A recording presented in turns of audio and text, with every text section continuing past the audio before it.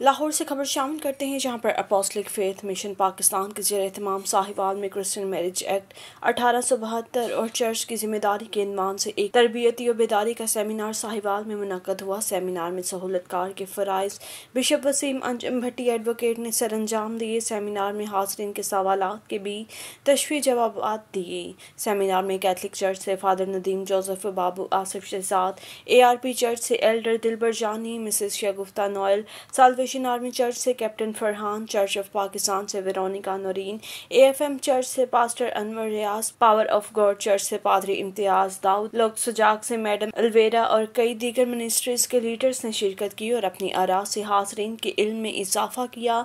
सारे प्रोग्राम से एक बात सामने आई है कि क्रिश्चियन मैरिज एक्ट या अमेंडमेंट करने से ज़बरदस्ती तब्दीली मज़हब और दीगर मज़हब में ज़बरदस्ती की शादी की रोकथाम में कोई मदद नहीं मिल सकती।